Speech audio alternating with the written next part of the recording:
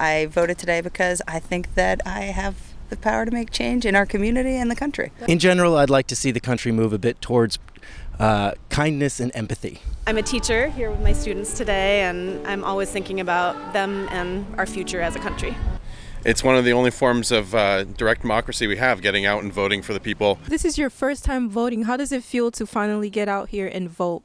तपाईँको यो पहिलोचोटि भोट हो भन्ने बुझेँ मैले तपाईँलाई कस्तो महसुस भइरहेछ मलाई भोट हाल्न पाउँदाखेरि खुसी लागिरहेछ र त्यसैको लागि अब म त अङ्ग्रेजी पनि जान्दिनँ यहाँ सरको सरले हेल्प गर्नुहुन्छ भनेर म भोट हाल्न जाँदैछु खुसी छु I'm very happy uh, about uh, you voting. This is my first time, and uh, he's here to help me. So I'm very excited to go out and vote today. Yes, it's a big it's a big election nationally, of course, and uh, we have a lot facing the city. We have a couple ballot questions on this ballot too for Burlington Matters, and of course we have some big state questions as well. And moved on to the Burlington Electric Department, uh, which is interesting because on the ballot this year is a question on an a bond for electrics in Burlington. I voted for David Zuckerman, Lieutenant Governor. For um, Misa Loisi, she's a local, like in my neighborhood, Representative South. Well, my, my race.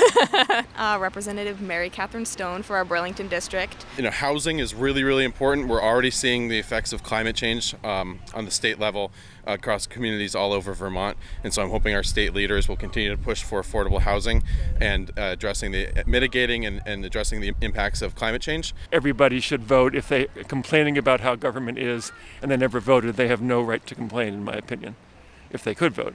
I came out here to vote because, like, you know, it's a part of our country and everything like that. So, first of all, it's uh, the women's rights for me and uh, education.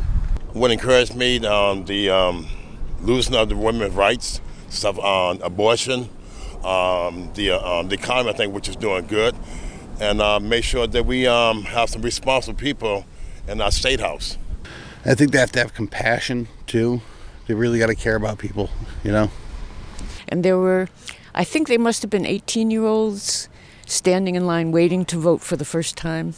It just thrilled me. It really did. Dad's World War II Eisenhower jacket, and uh, he fought in the, he fought with the 9th Army Air Force. And whenever I vote, I wear it in honor of all veterans and current soldiers, and in honor of those who passed on. Uh, because of them, uh, we get to live in a democracy, a democratic republic, and I don't take that for granted.